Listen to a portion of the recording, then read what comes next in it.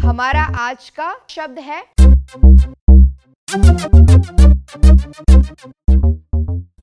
Grudge G R U D G E grudge means to have a better feeling for someone grudge मतलब नाराज़गी या अपने मन में किसी के खिलाफ गलत भावना रखना।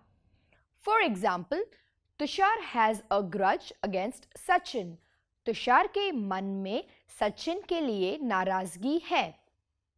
We should not hold grudges against anyone यानी कि हमें अपने मन में किसी के लिए बुरी भावनाएँ नहीं रखनी चाहिए।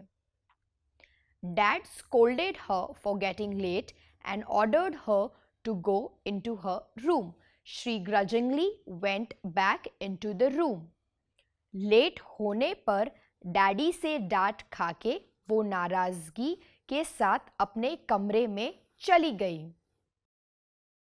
ऐप में दिए गए शेयर बटन को दबाएँ। स्पीकवेल ऐप को अपने दोस्तों तक पहुंचाएँ। हर फॉरवर्ड पे आपको मिलेंगे वोकेबुलरी के 10 नए वीडियो आपके वर्ड सेक्शन में। वो भी फ्री ऑफ़ कॉस्ट